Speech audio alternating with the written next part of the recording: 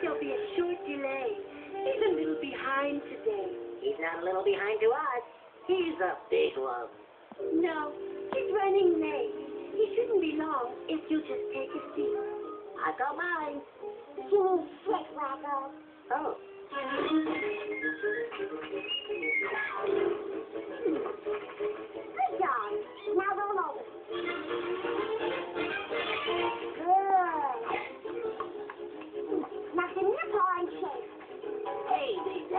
Daddy. So, what it is, what it is.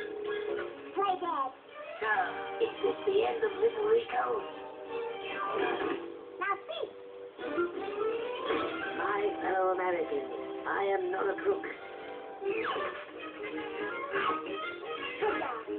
Can I borrow your newspaper? Why?